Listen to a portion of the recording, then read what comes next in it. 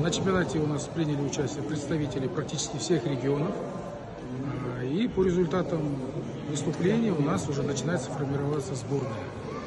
Сентябре будет чемпионат мира в Польше, куда мы надеемся направим наших борцов, которые достойно а, представят нашу республику. А, Мы решили впервые провести этот чемпионат за пределами города Бишкек.